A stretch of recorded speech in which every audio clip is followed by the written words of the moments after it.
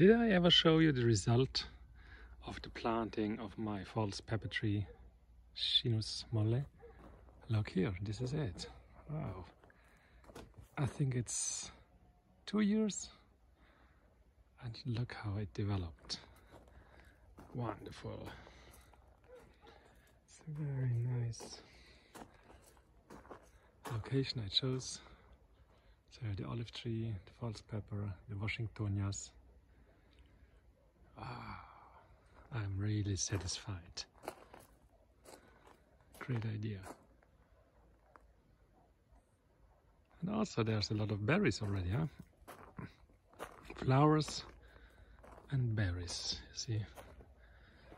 This is the red pepper. These are the flowers.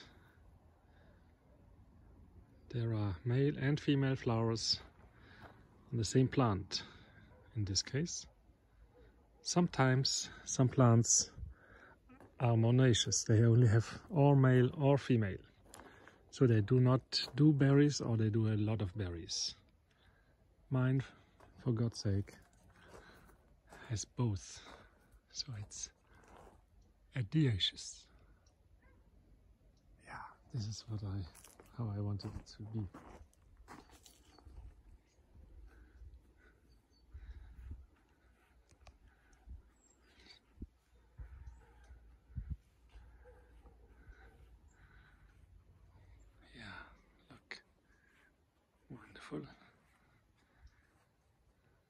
Thanks a lot for watching.